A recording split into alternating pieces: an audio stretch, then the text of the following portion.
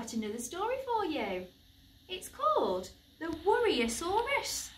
It's by Rachel Bright and Chris Chatterton. It's all about a little dinosaur who's got lots of worries. Let's see if we can help him by the end of the story. The Worrysaurus.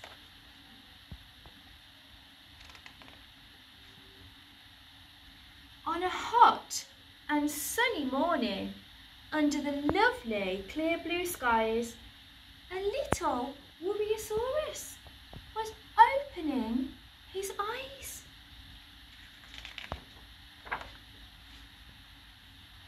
He brushed his pointy teeth and then washed his top and tail.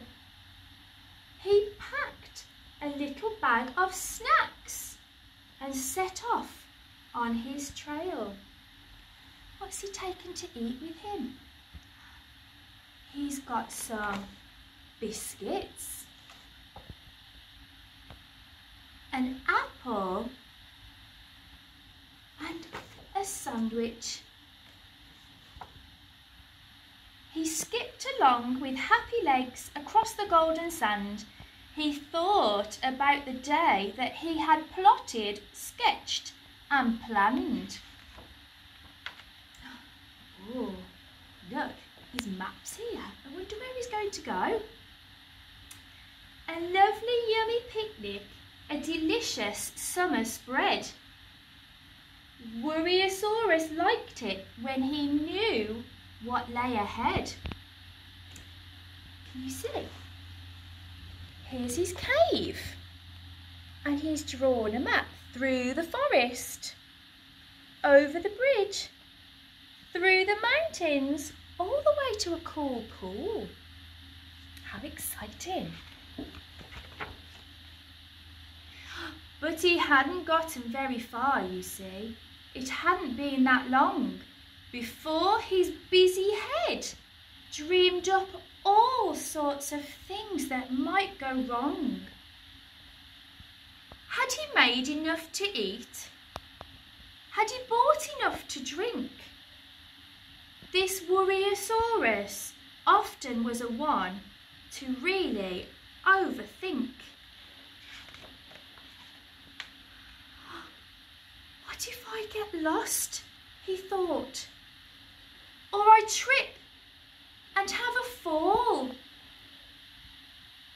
His happy legs were slowing down to a snuffly, shuffly crawl.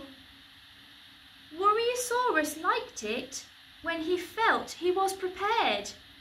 Unexpected things happening, well, they made him feel quite scared.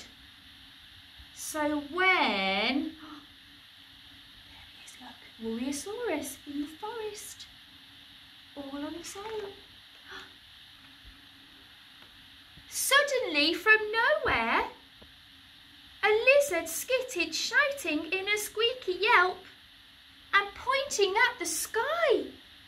I think a storm is coming. I've heard it's on its way. Well, that really put a cloud over Worrysaurus's day. Oh dear. A storm, said Worrysaurus. When it's so dry and hot and sunny.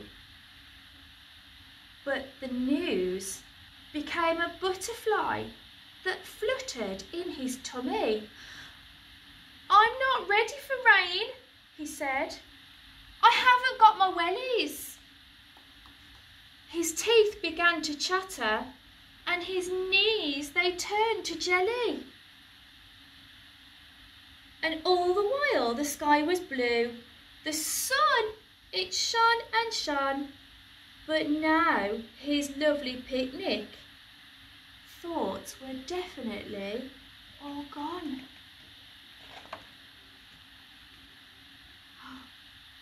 Should he find shelter or run back home and hide?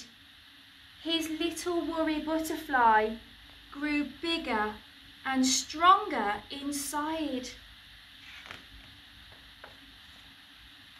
But then he thought of something that his mummy used to say.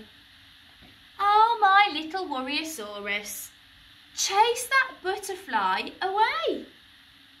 Don't you worry, my lovely. You must not try to fret. If it's not a happy ending, then it hasn't ended yet. So he reached into his bag just then to find a little tin. It helped him with his worries. It had happy things within. A special stick, his teddy Ned, a pebble and a letter. And as he held them one by one, everything felt better. He's smiling now. Then he put away his tin and all the worries in his head, freed the little butterfly for happy thoughts instead. I'll just stand tall and I can be strong. I'll chase my fears away. All is good and all is well and everything's okay. And with those little wordlings, he calmed his busy brain. Since when the sun is shining, why worry it will rain?